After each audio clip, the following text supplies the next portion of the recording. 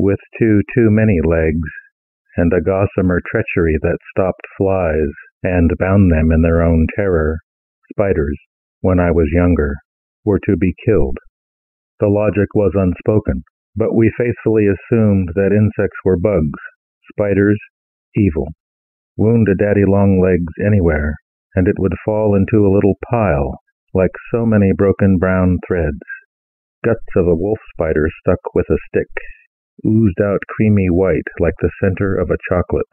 But now, on a Wednesday of nuclear weapon tests, nothing seems so uncertain as arachnicide. Technicians subvert the arid, flat face of Nevada, testing gadgets that melt planets in theory, incinerate revenue in practice. I stand in a steamy bathroom and debate with myself the death of a spider poised on perspiring ceramic tile. I spare the spider this time, then step into the blasting shower and clouds of steam pouring forth like fallout. Spider and I each stay in fogged, vague corners as Nevada's strata rumble with the secrets of modern warfare.